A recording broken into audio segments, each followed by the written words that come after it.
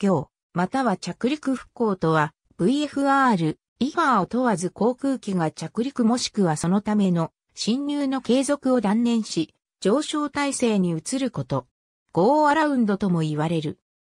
ボーイング767のスピードブレーキと復興モードのスイッチの位置、関係パイロットが自身の判断で行うことも、また、管制官が滑走路または航空交通の状況等の自由により到着機の侵入継続が安全でないと判断される場合に、指示を行うこともある。着陸復興と記述されることもある。単に、また行といった場合には、侵入また行ではなく、着陸また行を指すことが多い。極端に設置点が奥に行ってしまったために、そこから再上昇しても、タッチゴーとは言わずに、着陸また行になる。海軍航空隊では、ゴーアラウンドではなく、ウェーブオフと呼称する。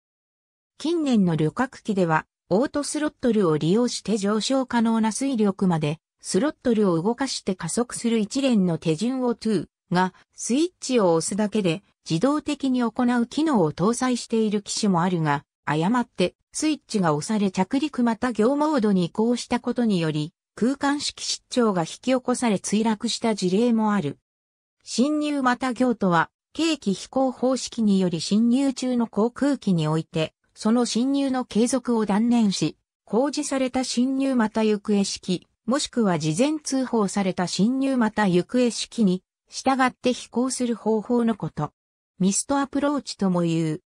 侵入また行経路は、計器侵入方式ごとに定められており、普通は超短波全方向式無線表、距離測定層や無指向性無線標識上空などでの旋回待機で終了する。着陸のために再び侵入するには管制官の侵入許可が必要。計器侵入方式による侵入許可には侵入また行の許可が含まれる。